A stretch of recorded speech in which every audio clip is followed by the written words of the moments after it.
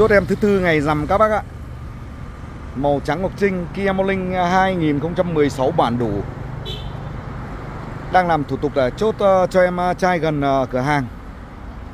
Ưu tiên em nó em nó đi rất nhiều cửa hàng để tham khảo, cuối cùng cũng không cưỡng lại vẻ đẹp hấp dẫn từ giá cả cũng như chất lượng của xe.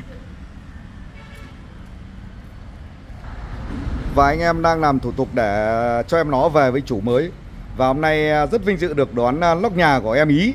Em ý à, hôm nay đưa lóc nhà quả này chốt chắc. Đấy, ngày rằm chốt em thứ tư trong ngày nhá. Đấy, em trai thợ chuyên về xe máy.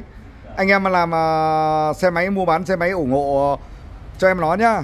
Cửa hàng mình còn rất nhiều những cái mẫu xe to bé lớn nhỏ đang chào đón các bạn đây. Bác nào có nhu cầu sử dụng xe đẹp giá yêu Hoặc các bác có xe đẹp Cần bán galo trực tiếp cho mình Mình sẽ mua với một cái giá tiền hợp lý giữa hai bên. Đấy, các bạn nhìn này. Rất nhiều cho nên là giới thiệu thì nó mất rất nhiều thời gian. Bác nào quan tâm bất cứ mẫu xe nào, cứ alo trực tiếp cho mình. Và cửa hàng bên mình là 88 các bạn nha 88 Vĩnh Phúc, chào anh em. Mình ở Phúc Yên, Vĩnh Phúc. Rất hân hạnh được phục vụ quý anh chị và các bạn. Xin chào và hẹn gặp lại.